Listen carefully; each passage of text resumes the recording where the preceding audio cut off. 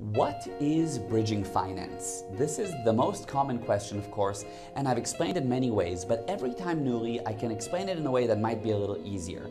And in this case, I want to explain bridging as an advance. So if you're working for someone, you're gonna get a salary at the end of the month, but sometimes you need money in the middle of the month for something, so you might go to your boss and say, hey, can I get some of my salary ahead of time? In the same way, in the property industry, you're going to get paid in three months, not a month.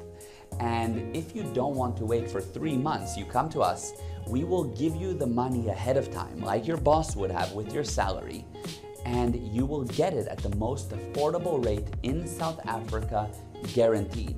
So it won't cost you an arm and a leg, it'll be affordable. And you had your money to use for your business and for your life. If you're interested, get in touch with us right away and we will assist you to get your money now.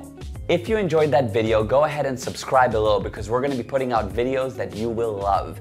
On top of that, give this video a like and feel free to share. Thank you.